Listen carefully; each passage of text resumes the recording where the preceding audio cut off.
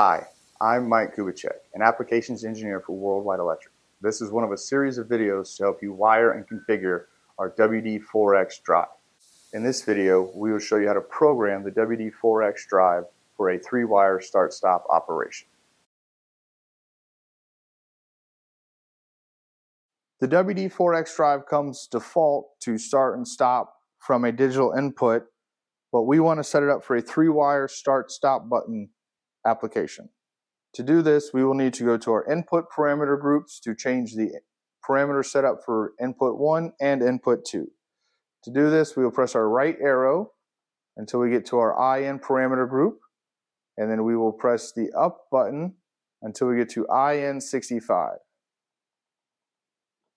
We want to set IN65 to number 1 for forward. We do this by hitting enter. It's flashing. We hit enter to store it. Now we will go to IN66 for input number 2. And we want to set that to number 14 for three-wire control.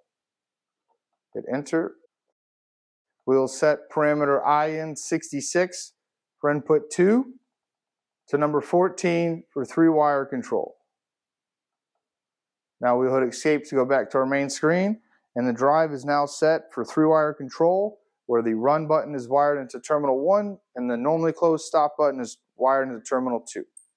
Remember, this video is not a replacement for the product manual and please follow all applicable safety procedures before commencing any work.